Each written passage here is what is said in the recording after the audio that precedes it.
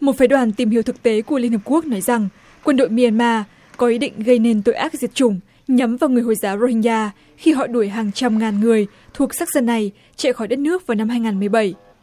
Báo cáo được công bố hôm hai mươi hai tháng tám cũng cho biết, chính phủ mi an ma đã không làm tròn trách nhiệm của mình theo công ước diệt chủng để điều tra và trừng phạt các hành vi diệt chủng.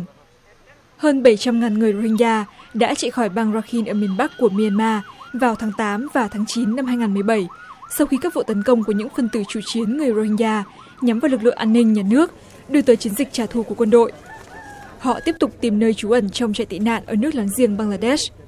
trong khi đó, những nỗ lực để bắt đầu gửi các nhóm nhỏ người rô hinh gia về Myanmar từ băng la đét đang bị đình trệ.